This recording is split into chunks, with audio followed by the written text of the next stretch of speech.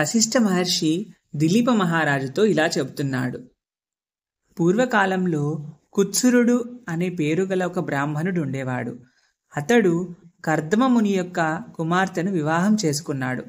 కొంతకాలానికి ఆ దంపతులకు ఒక పుత్రుడు జన్మించాడు. ఆ బాలుడు దినదినాభివృద్ధి చెందుతూ పెద్దలను గౌరవించడము విద్యాభ్యాసములో శ్రద్ధ చూపడము నీతి నియమాలను పాటించడము దైవ కార్యాలయందు భక్తి కలిగి ఉండడం లాంటి మంచి లక్షణాలు కలిగి ఉండేవాడు. ఆ బ్రాహ్మణ బాలునికి యుక్త వయస్సు వచ్చింది. అతనికి దేశాటన చేయాలి అనే కోరిక కలిగింది. అలా తీర్థయాత్రలు చేస్తూ మాఘమాసం వచ్చేటప్పటికి కావేరీ నదీ తీరాన్ని చేరుకున్నాడు. నా పుణ్యఫలం కొద్దీ ఈ మాఘమాసంలో నాకు కావేరీ నదిలో స్నానం చేసే యోగం లభించింది అని అనుకున్నాడు ఆ బ్రాహ్మణ బాలకుడు. ఆ నదీ తీరమున మూడు సంవత్సరములు ఉండి అత్యధిక పుణ్యఫలాన్ని సంపాదించాడు. ఆ తరువాత అన్ని కోర్కెలను సంపాదించడానికి ఘోర తపస్సు చేయాలని అనుకున్నాడు. అతను కొంతకాలం నిష్ఠతో తపస్సును చేశాడు. అతని తపస్సుకు శ్రీమన్నారాయణుడు సంతోషించి ప్రత్యక్షమయ్యాడు.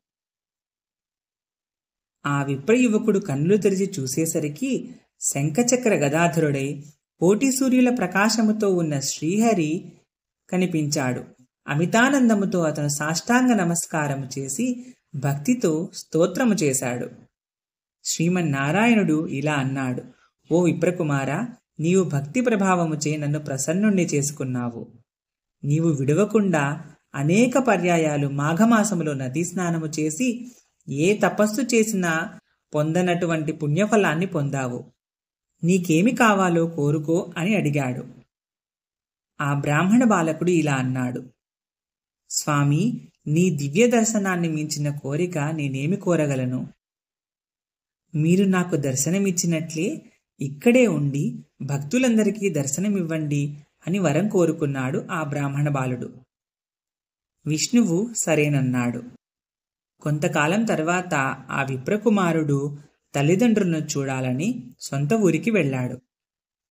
ఈ వీడియో మీకు నచ్చితే లైక్ చేసి షేర్ చేయండి. ఇలాంటి మరిన్ని వీడియోల కోసం ఈ ఛానల్ని సబ్స్క్రైబ్ చేయండి.